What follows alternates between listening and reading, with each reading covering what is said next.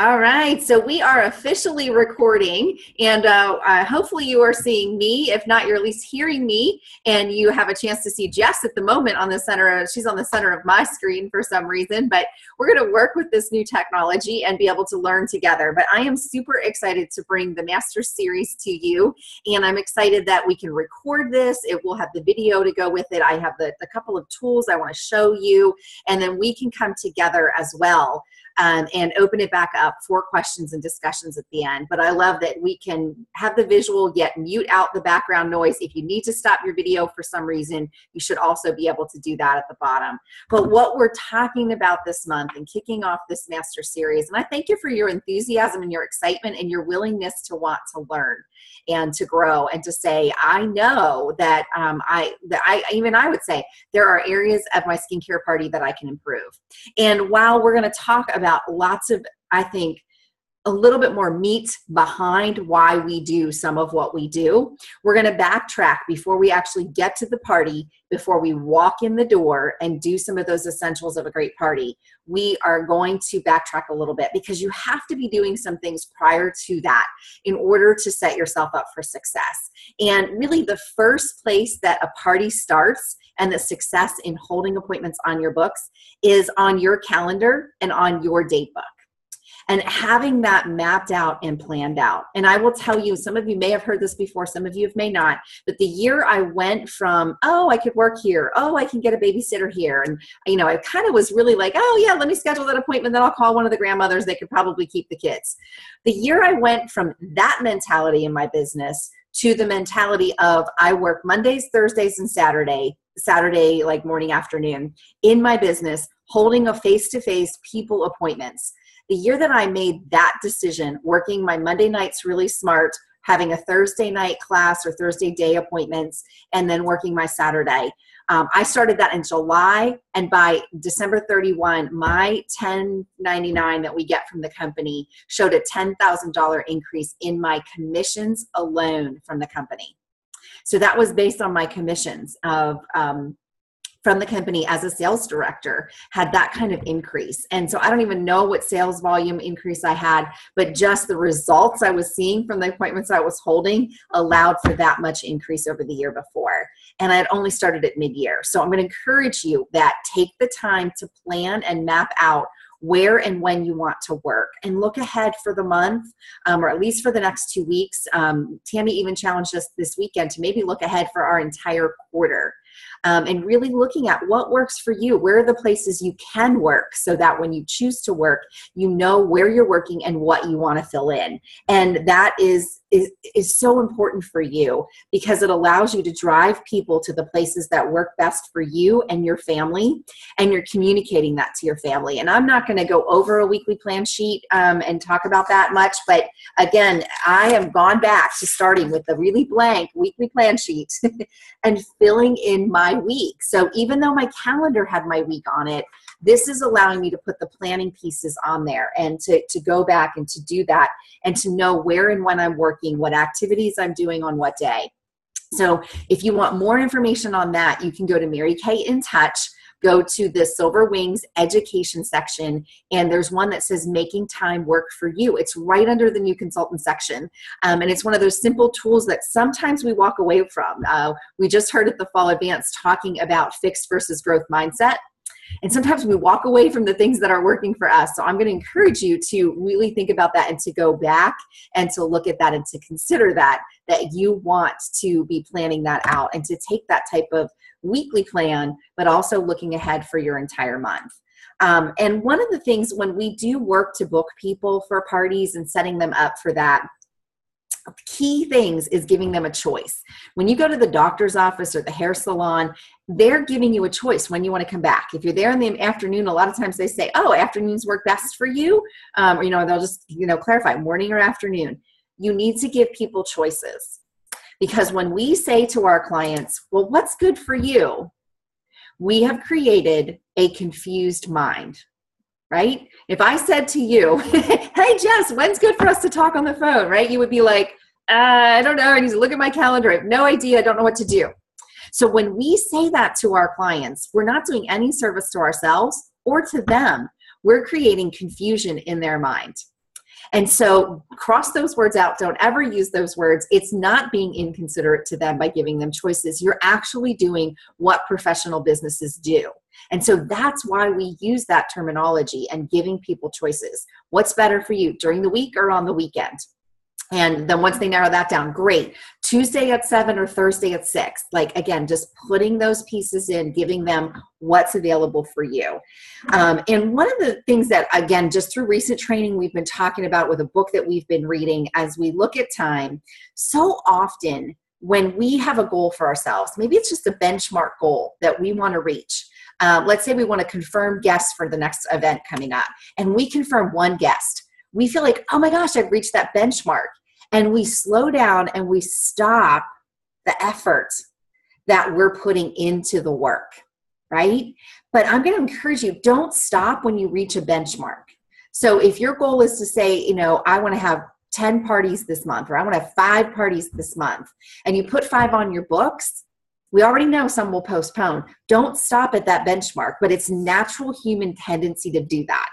And so the training that we're talking about is really talking about going for no and to just continue to track the activity to get more yeses than what you want to see and being able to do that. So go for you know three confirmed guests at every appointment. And then when you have three confirmed guests giving them the excitement um, of being able to set up for success. So when you have a guest coming to, to an event um, instead of just taking that benchmark and being like, okay, I've got three people that are confirmed, and then two people cancel an hour before, and you have one that walks in the door if you're lucky, right? Have we all been there, right? uh, I know that we've, we've had that. So, but what if you had three people confirmed and you said to them, I'm so excited that you're coming out with me um, to the you know, next Girls Night Out event. And you know what? Most of my guests that love to join me bring three or four friends with them what if you set that up to them? You're not even asking them to bring three or four friends, right?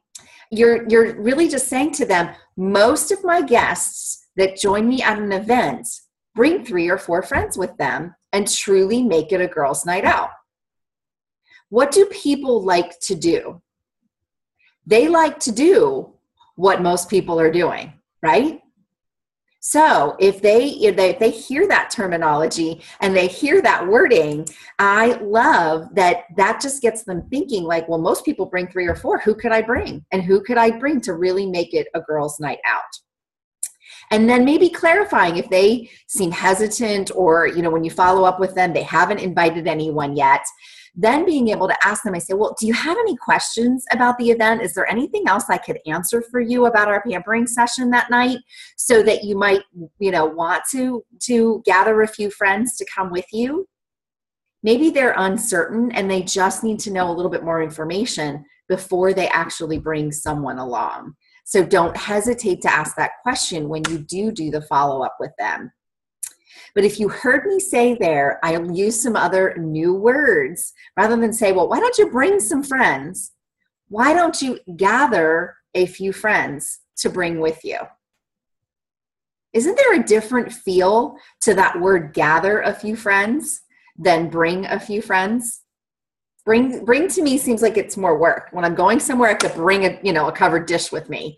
You know what i mean? But if i can gather some goodies and bring them along or gather friends and come right? It's different terminology.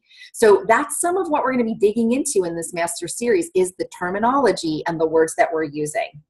So um, again look at that as most sharing with them most that people that join me bring three you know gather or attend with three or four friends. Or I mean, you can there you could say you know most people that come have three or four friends join them. There's the wording that we want. Um, and just being able to set that up. And wow if you did that three people and they were each bringing three you just turned that event into nine guests at that event and I think so often we need to inspect what we expect. We, we reach that benchmark and we get comfortable. But if we would grow beyond the benchmark and go for, go for 10, if you went for 10 guests at every event, wow, what would that do for your business? How much more efficient would you be in the time that we, you know, in the time that we're working? And me too. It's, it's really for all of us. And so, some new terminology and new words there, and setting up that expectation. And you're going to hear later on as we go through the training that that expectation will continue for your hostesses as well. Are we setting them up? for the expectation of most of my hostesses have four to six or six to eight, you know, five to seven. You choose the number, but why not give them the six to eight? Okay. Most hostesses have six to eight friends join with them. Um, how many, you know, would you like to have? And well, she's probably going to say, well, I'm going to go for six to eight. And say, great. Well, then you'll want to invite at least 15 or 20. Okay. And if they say, oh my gosh, I don't know that many people, I said, take some time, write down those names. I'll call you back tomorrow to see who's come to mind. Um, you know, I can, and you can even help brainstorm with her as you're doing that. But that's going to come a little bit later in some of the coaching. Uh, but again, setting up that expectation is key to our success. So the next piece after time is your contact list. And the average wedding in today, America today has 100 to 150 families invited. That's 100 to 150 women in that session. And so I just want to encourage you if you have not recently rewritten your contact list, to do it to go through your Facebook, to go through profile cards count, to go through your phone, um, to go through, you know, the wedding list. Who would you invite? And sometimes it's, you know, Aunt, it's, you know, Aunt Susie that you don't know real well, but she's part of your family and she'd be invited to the wedding. Well, again, if we have not offered her a pampering session with Mary Kay, why not? We're missing out. If we'd invite her to our wedding, we should invite her to experience our business. Um, I talk about the example if you were opening a brick and mortar store, you know i know both of you like your coffee or your tea and different things. If you opened a coffee shop okay you would spend a hundred thousand dollars to open a coffee shop to run it to paint it to get the equipment. You would spend so much money. We would tell everyone we know about that everyone. We'd mail it out in the community even. We would do so much. See this business as the same. Do you understand that, that we started with a hundred dollar starter kit and whatever investment we made but we have the opportunity to make hundreds of thousands and even millions in this business. But sometimes we just don't give it that credibility and we really should. So anybody that would be on your wedding list anyone that knows your name knows your name do not prejudge and give them the opportunity, put them on that contact list. And then working in a place to have new leads coming in, um, ideally from your parties, but also out and about um, doing those things. And again, that's a whole nother training. I am going to send a little message out about uh, some of that. We did hear some of that just recently. But what I want you to think about as you're doing the booking, and some of you have been working with it, some of you have picked it up, maybe put it back aside and different things, but is that Power 21 day and that tracking of those multiple contacts. Okay, this is a new sheet I just started the other day. Um, and honestly, I spoke to one of them, another one responded to my text message, and the two other ones I haven't heard from yet. So um, tomorrow is my day to follow up with them again. But again, sales statistics, and I can post this on our Facebook page again for you to see it. It shows it takes contacts four, five, and six to be able to see receive a result. So again, in that go for no philosophy, don't see a lack of reply to your first contact as a no. But have we all been guilty of that? Right? Seeing a lack of response um, that one time as a no. And it's really not. Life is busy. Oh my gosh, I had a team member text me on Monday. I totally missed her, te- her message. Um, and the, life happens. It happens. So know that it takes more than, than that contact and know that that's okay. Um, but you know as you as you move forward and you can build those bookings on your date book then ideally going forward you're going to book her again from the time that you see her. So if you book somebody from a facial for a facial or a guest to an event you make a connection with them. And that's what we're going to build on in this in this master series is making more of that connection. Not worrying so much about what we're saying or what we're doing or if we're doing it right but listening to her and making that connection. And I'll be honest, it's an area of the training I have not passed along. But when people, I, I guess I, I just think people have seen me do it, they do it, or it comes naturally for people and they do it, but I'm learning it doesn't. So we're giving you that meat behind it. How do we build those relationships? What are the words we use? What are the questions we ask of our hostesses? And even our guests coming um, to a meeting. So if somebody's coming out and and you know it's a referral, we could get to know them a little bit more right right on the phone and just being able to say, so you know, Susie, I'm looking forward to treating you next Monday night. Tell me what's what's bringing you out to the event. what's bringing you out for our girls night out well it's a gift from you know candy or it's uh, gosh it's girls night out i got three kids i get out of the house oh how old are your kids you know 10 7 and 5 oh yeah you need to be pampered um, well i'm going to look forward to pampering you any other questions you have about our girls night out and our pampering session but asking her a little bit more and getting to know her a little bit more before she even walks in that door. You're building that heart connection with her. Um, and so when we do that, we are more likely to build those clients for life and get those guests through the door when we know what it is that might appeal to them um, you know, and sometimes they're just going to say it's free product. I mean, there could be lots of reasons why they say they would come to that pampering session, but asking that question, what you know what's inspiring you to talk with me today we've done that with sharing but you know what's motivating you to come out with me on monday nights and getting to know her just a little bit more but when you do see her you know our goal in that ideal mary kay world is get them on the date book maybe using the 21 day power booking then see her at a facial at a guest event or maybe right away as a hostess making that heart connection with her and then booking the follow-up and having the chance to meet her friends and so remember, and you know, again, Jess, you're a great example of that. You know, it was the power of one party. it was one party watching your six friends come out, buy this product, rebook, and you decided that this business was going to be for you. Um, but again, just the power of that and the power of one session and what it can do. But they built that connection and they were re- willing to book with Missy until they even knew that you were starting and being able to have that connection. They made that connection that night to be able to see them. But the power of one, you had, you came as one, but brought six friends with you. So think about it. If you can just get, you know, the power of one and get that person to introduce you to five, those five then each know five more. And now you've met 25 right as you book them for their follow-up.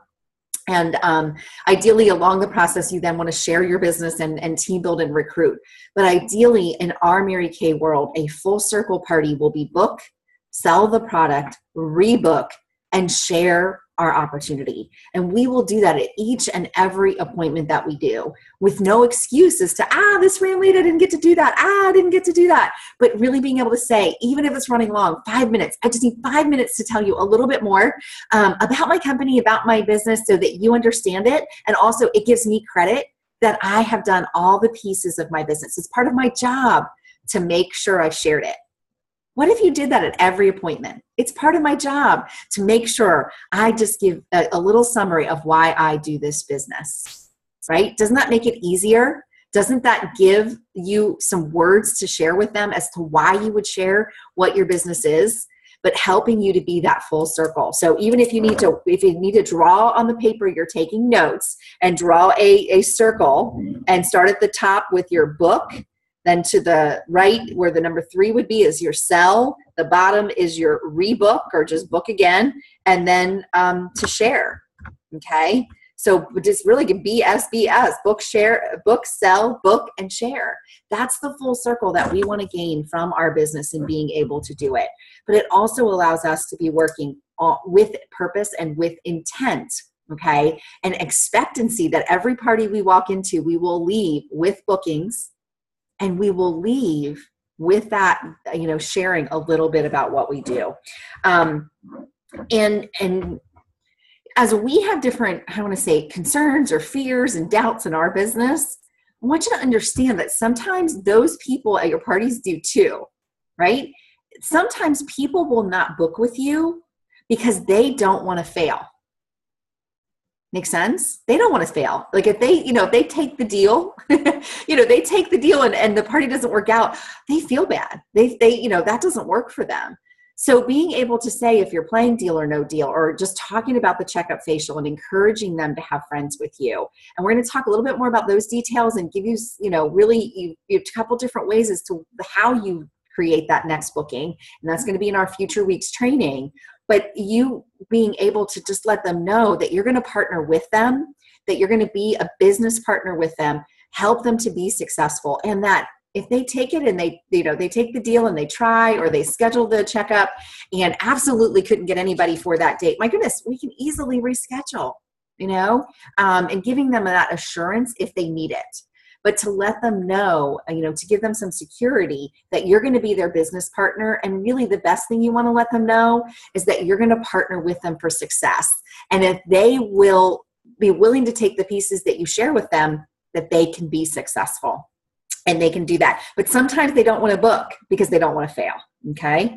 So, um, as we look at this and we talk about things, when we do book them for that follow up, again, just a couple of words that have come up and then I wanted to share. We already know the any reason why, right? Any reason why you wouldn't want to share your facial with friends when you've booked her. Any reason why you wouldn't want to share your facial with friends, right? Great way to ask that question. You know, that most women, you know, have three to four friends or at least two to three friends that sit around the table with them um, when I come to pamper them because you all get to enjoy the pampering. It's a great, fun girls' session. Any reason why you wouldn't like to share your session with friends, or any reason why you wouldn't like to gather a few friends? Okay, different than have. Um, and again, setting up that expectation of what most people already do, right? Already do. And so um, the, the next piece for today, um, in, and some of you may have just heard this, but I want to use this recording going forward and talking about that. Um, as we set this up when we do this, is really you want to book her, the, the proper booking approach is most often getting her on the date book, talking about, you know, treating her if she's a referral. Um, you know, a lot of times I want to book her and then I'm going to encourage her to share with friends. Um, I, the party's hard for them to understand, but for our existing clients, we can really share with them goals and being able to let them know, uh, especially at different times, times like this when we've got this double credit, um, we've got double credit happening. I get double credit for every face that I see towards year long goals, um, top trips, diamond rings, whatever those pieces might be. We get the opportunity to have all of those things and to be able to um, you know it gets double credit this month so being able to start with the party saying saying to you know Aunt Susie, hey, you know, Aunt Susie, I'm calling. I, I um, just calling to see if there's any reason why you couldn't help me out with a huge goal in my business. And she's going to say, well, what do I need to do?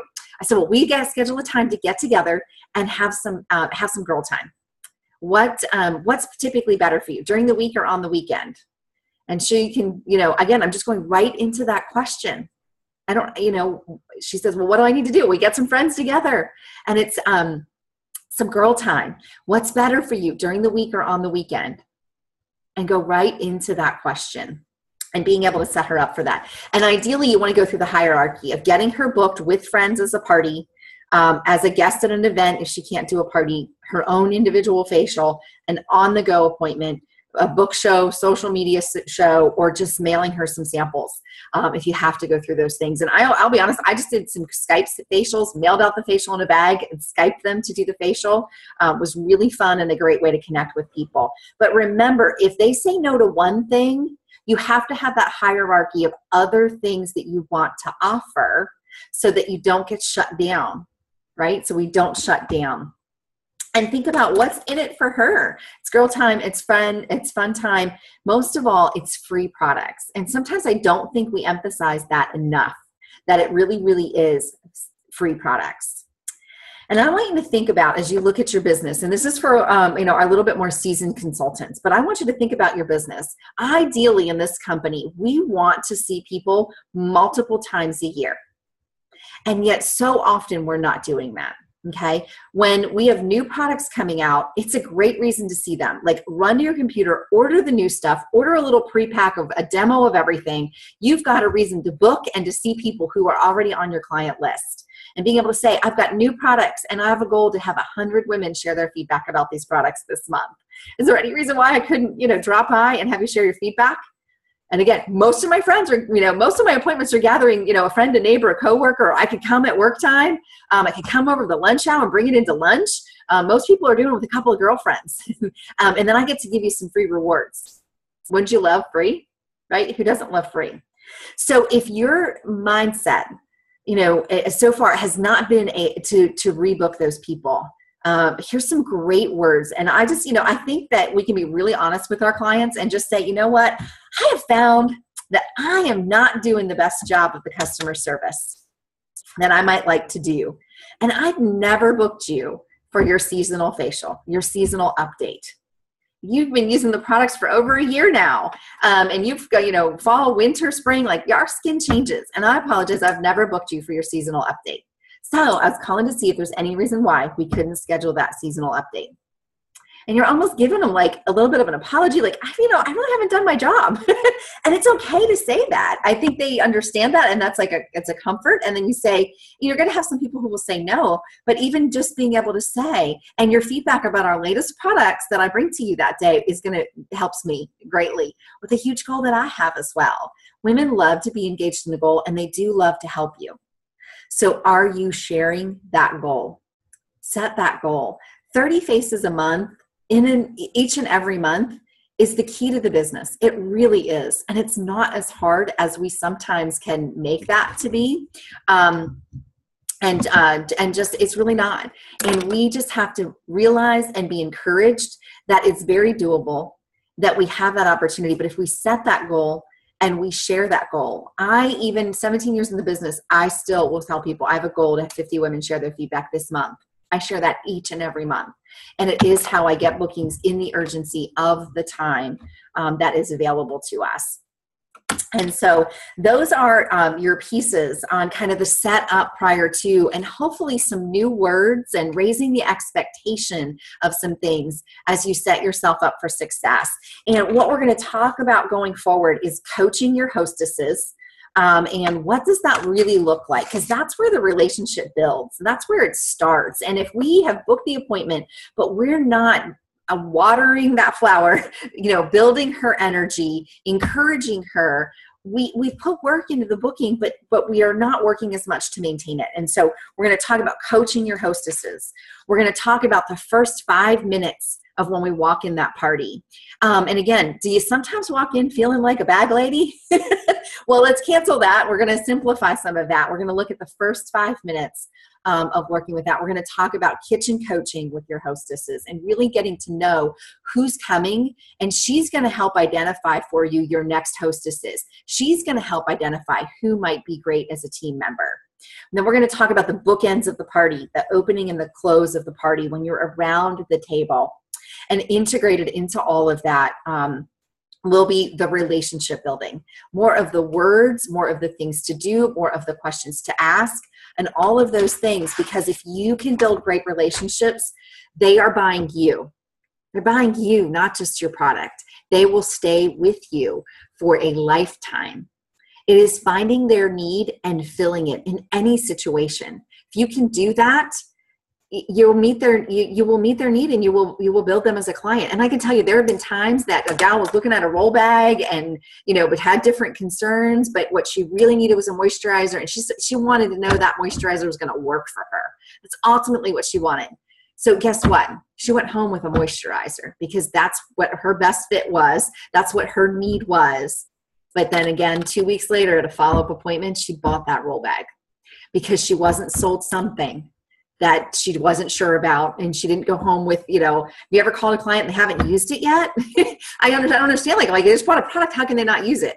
Well sometimes they're not using it because they bought more than they wanted to and there was some you know who knows there's different psychologies that go along with it. But the key to it is find their need and fill it and you will build clients for life. So we're going to be talking about the words the relationship building um, and uh, just helping you to see how to be a business partner with your hostesses and how to really glean more information from them while also sharing more information with them as well. So I hope that these thought processes of inspecting what you expect pushing through and don't stopping don't stop when you reach the benchmark but going for the 10 at every event raising the expectation of your hostesses and your um, your facials and telling them that most people love to have. Most people share their time with three to four friends. Any reason why you couldn't gather a few friends. And of finding a couple of those key statements that um, are beneficial to you as you get started um, in your business. And I'm going to give you, as we finish up today, I want to give you um, a couple of other really quick segue statements, okay? Just some other words that can be very, very helpful for you. Um, and we'll talk a little bit more about how to incorporate these into the parties as you move forward. But there's there's lots of different ways you can use them in booking, um, and so I want you to pay attention in the next week. How did you maybe figure out how to use these words? But they're segue words, and they sometimes allow it to be a little bit of an afterthought. Um, it, it, it's helping to take, um, you know, if she says, well, uh, so an example would be you're booking her, you booked her for, you know, Thursday's event F3Js and you encourage her, like, could you gather a couple of friends and bring them with her? And she says, well, gosh, I don't, I don't know anybody that uses Mary Kay or I don't know who could come with me, you know, and things like that. And just say, well, you know, I've got a thought. Why, you know, who are the moms you see at the bus stop in the morning or your neighbors that are home with you or the girlfriends you always meet for coffee? Any reason why you couldn't gather a few of them?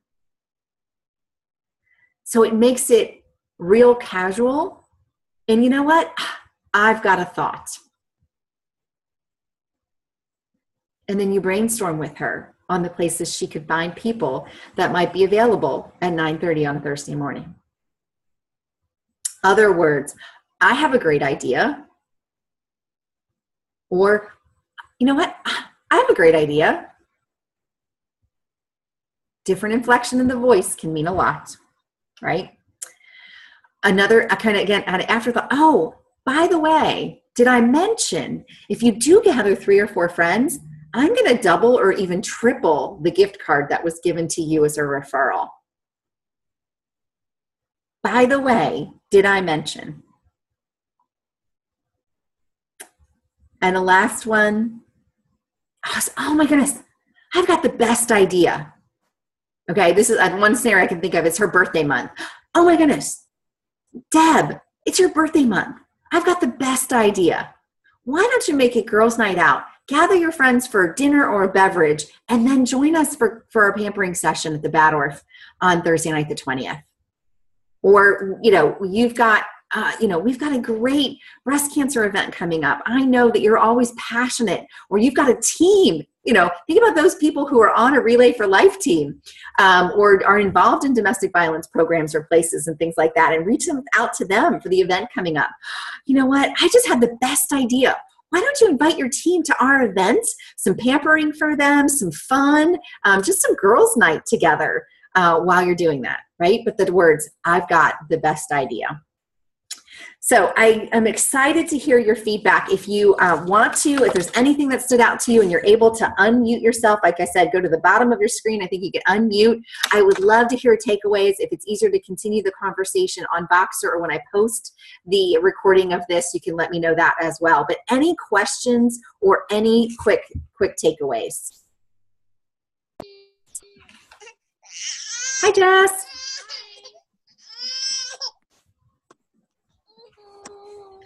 Any questions or takeaways? Um, Hi, Madeline.